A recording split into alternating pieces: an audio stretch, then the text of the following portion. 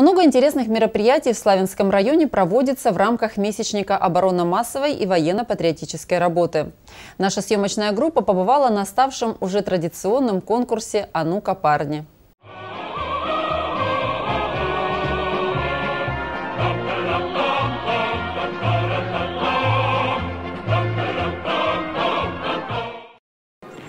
Старшеклассники из девяти славянских школ приняли участие в ежегодном военно-патриотическом конкурсе «А парни», который состоялся на базе 16-й средней школы имени Героя России гвардии майора Сергея Таранца. Этим соревнованиям предшествовали школьные конкурсы, в ходе которых были выявлены сильнейшие в военно-прикладных видах спорта ребята, которые и прибыли сюда, чтобы побороться за лидерство к нам приехали победители своих школ.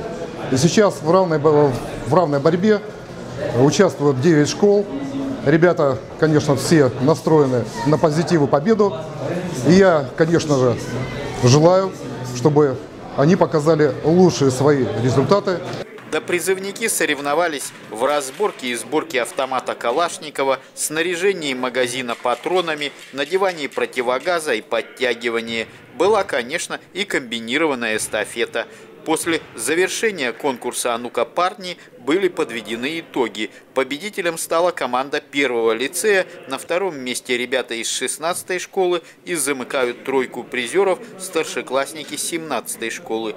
Были отмечены и лучшие спортсмены в личном зачете. Андрей Вишневский, Георгий Калинин. Программа «События».